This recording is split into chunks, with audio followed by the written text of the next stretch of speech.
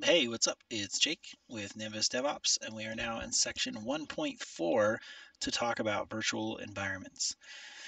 So I'm in this little repos folder. Now, from this point forward, we're just going to call folders directories. So if you're a beginning programmer, um, I come from the operations infrastructure side of the house, so um, we're going to use the correct terminology for all these things, and you get to learn a little bit of that along the way, and we call them directories. So inside this repos directory, this is where I keep all of my code. Now, I might want to make a um, a local uh, environment where all my code is running. And maybe I want to put that in a new folder. Let's say I have a, a client um, somebody hired me to write them some automation stuff. So I'm going to make a directory inside my repos directory called client A. Okay, and I'm going to make another one called client B. I got two clients that want to uh, have me hire me to write some automation scripts using Python. So they both use Python. They're both using Python 3, but let's say that I need to use um, some libraries, which is like extra stuff that I need to use. And I need to use version 3 for client A, but let's say I need to use version 4 for client B. Well, if I have version 3 installed on my computer, and then I try to install version 4, it's going to upgrade my version to version 4 because I'm on my computer, and what's going to end up happening is client A's stuff's not going to be correct anymore. It, may, it might even break because it was on client 3 and now, or on uh, version 3 and now it's on version 4. So the way to get around this and to create separate package versions for different projects and different clients or different folders or different whatever is by creating something called a virtual environment. And it's just a logical well it's physical, but it's a it's a it's a way to kind of separate versions of things into separate little isolated cubes or pods or containers or whatever virtual environments so that you can maintain the integrity of those requirements um, even on the same the the same machine. So uh, now that I have these directories let's go over uh, we're going to change directory to client A. And I can see here I'm in home repos client A. And uh, we're going to use this as like our root folder. So this is like the beginning. This is the top level folder and everything else inside of here for client A is going to be in this one folder. So this is our root folder. Okay. Um, so inside of here, uh, we're going to create a little virtual environment. And I'm going to call it like, uh, I don't know, we'll just call it call it something uh, automated. Sure, why not?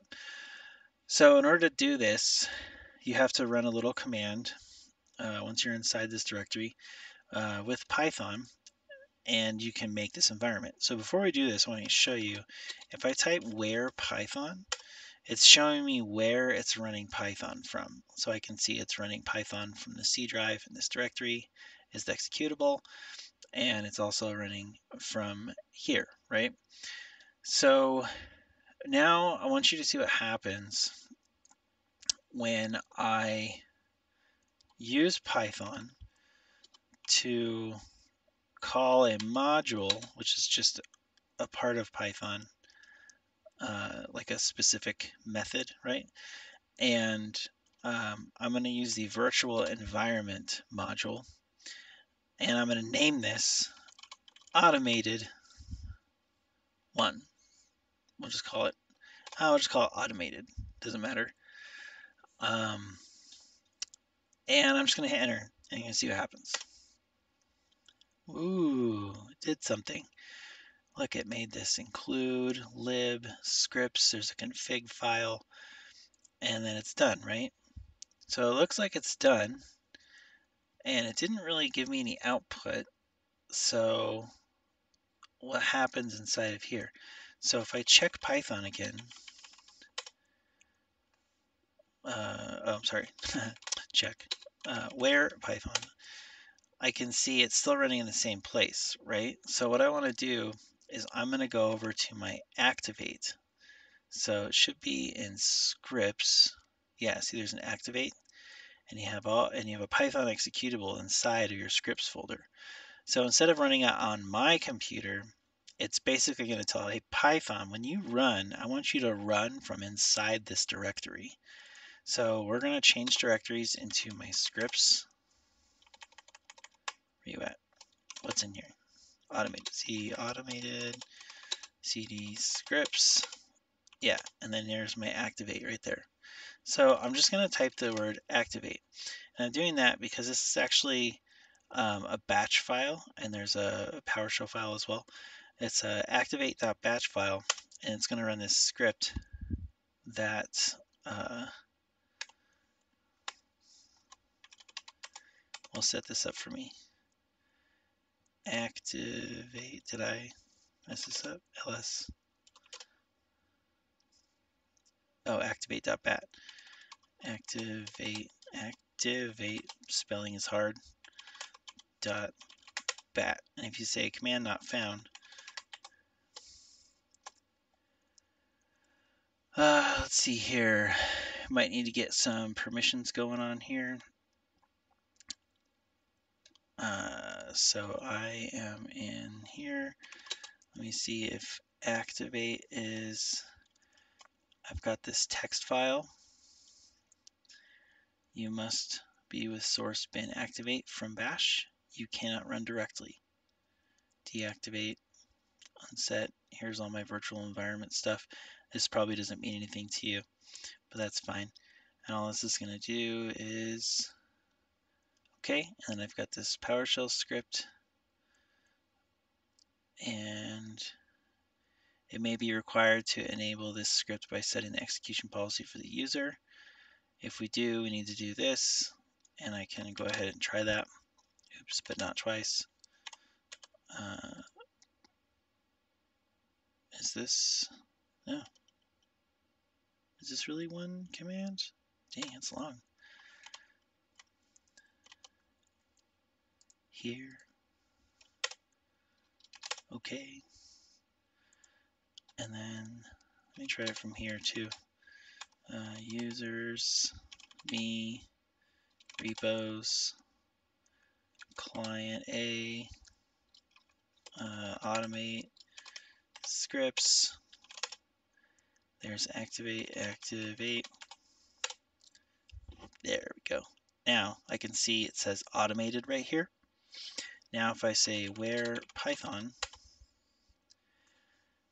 it's running here. It's just running there. So I can see here, see this green text?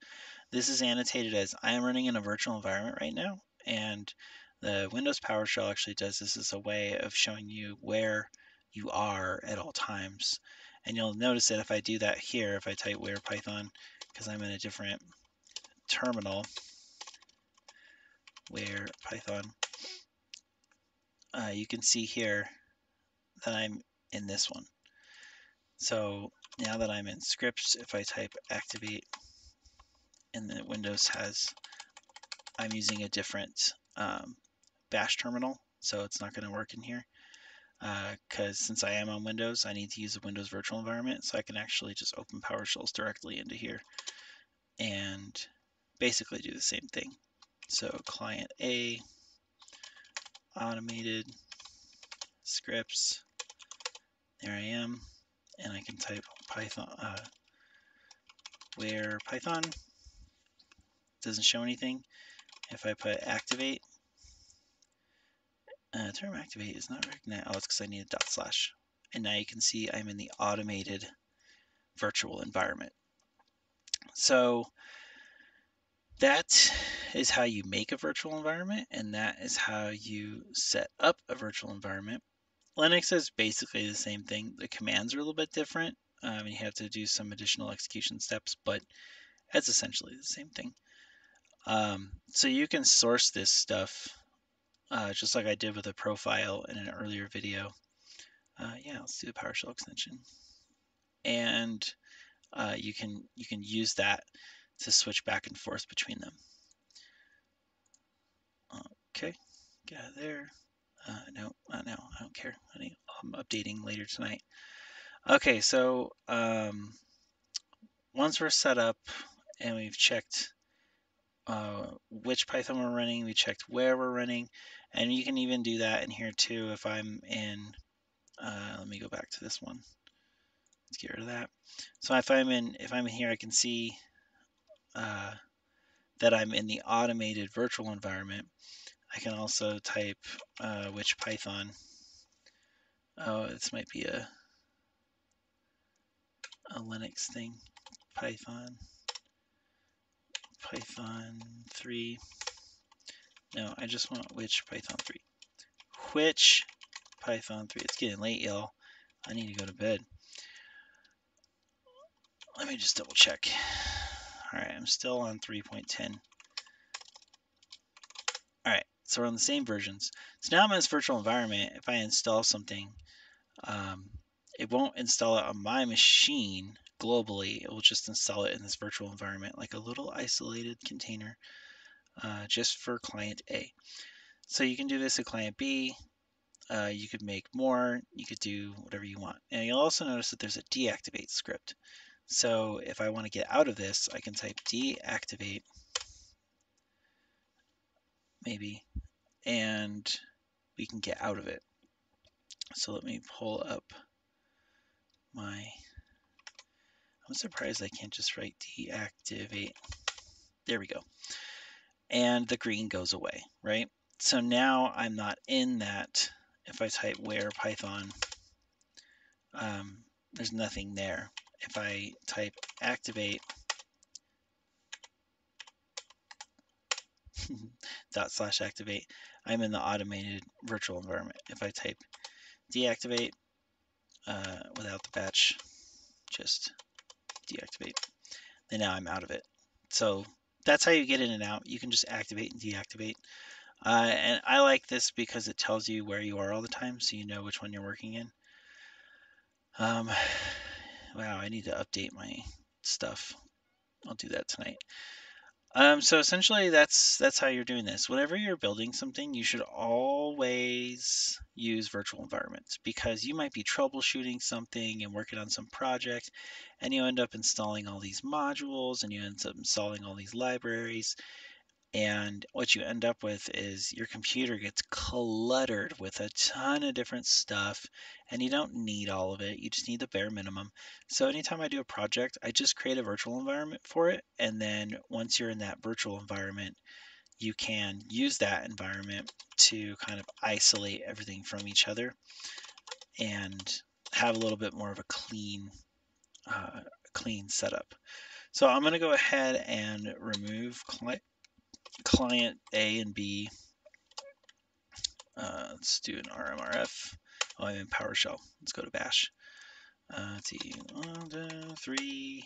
Yep, okay, so let's do an RMRF for client star, and then all of my directories are gone. So that's uh, it's just a quick overview on virtual environments. If you have question about virtual environments, let me know. But essentially, just always use a virtual environment whenever you're starting something. Um, it's a good habit to get into. It's really the best practice for working with Python, as you should always be working with virtual environments and isolate things from your main computer as much as possible and isolate your projects from other projects. So that is the value of it. That is why you would do it, and I hope that helps. Um, I've got some more stuff that we're going to be doing in the future. So we'll be using virtual environments for everything. And as we go through these things, if they have different requirements, you'll see me switch from virtual environment to virtual environment. And now you know what it is that I'll be doing and why I'm doing it. So uh, good luck, have fun, create a, a, little virtual environment for yourself and try activating, deactivating it, and then uh, go ahead and remove it and you'll be right back where you started and ready to move on to the next part.